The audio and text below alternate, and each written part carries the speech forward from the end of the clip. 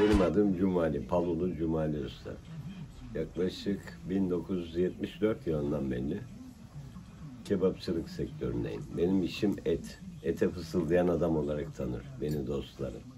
Bizdeki konsept yaklaşık 12 yıldır alkolünü kendin al gel konsepti. Fakat şu özelliğimiz var. Ben etçiyim.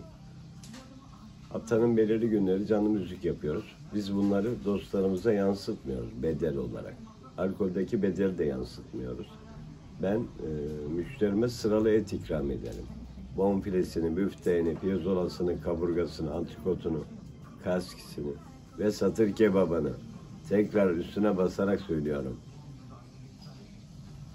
İddialıyım.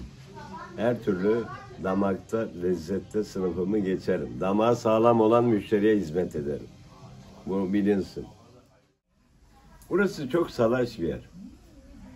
Buraya insanlar dekor yemeye gelmezler. Bunu gelen de bilir.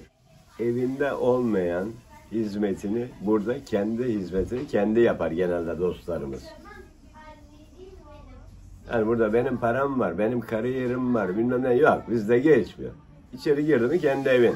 Dostlarımızla beraber etimizi yaparız, mezemizi yaparız. Herkes kendi servisini alır, çayını, kahvesini alır, boşunu toplar.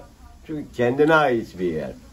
Biz gelen dostlarımızı müşteri olarak kesinlikle görmüyoruz. Çünkü cebi beni bağlamıyor.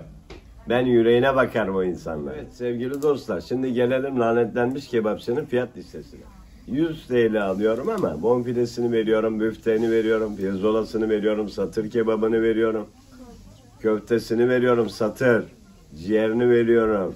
Bu arada da işte barbunya pilakisini veriyorum.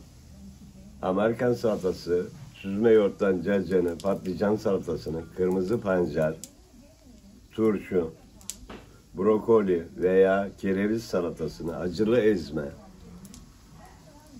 pırasasına kadar.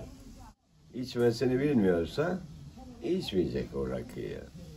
Rakı denmiş ki içmesini bilene zevkü sefadır, içmesini bilmeyene de cevru cefadır rakı. Kendi eviniz gibi kimseye rahatsızlık vermediği sürece gönlümüz, kapımız, yüreğimiz açık.